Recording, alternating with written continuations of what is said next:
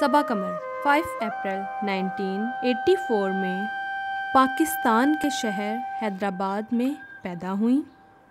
अगर बात की जाए आपके करियर के बारे में तो आपने 2005 में अपना करियर स्टार्ट किया। फिर आपने 2015 तक dramas movies serials modelling hosting की। आपके सुपरहिट ड्रामास जिनके नाम चीख, बागी और फ्रॉड है। 2016 में आपने पाकिस्तानी मूवी लाहौर से आगे में लीड रोल किया। आपको बेस्ट एक्टर अवार्ड से भी नवाजा गया।